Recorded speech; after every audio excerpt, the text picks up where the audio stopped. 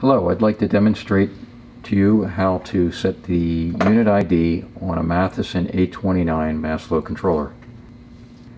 First we need to power the unit up.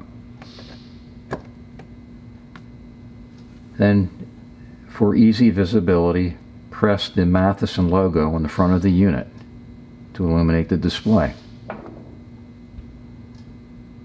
Next step we press next twice once, twice. Then we select Setup. From there, we scroll down to RS-232 Serial.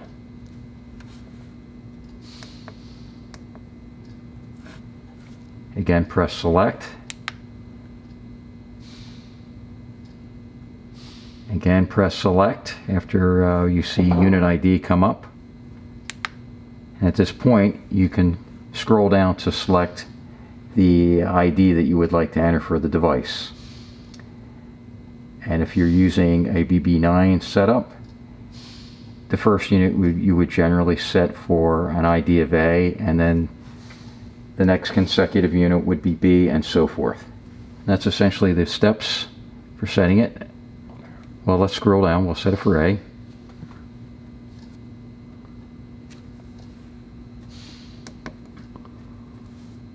select set and then we can go back to main to our main menu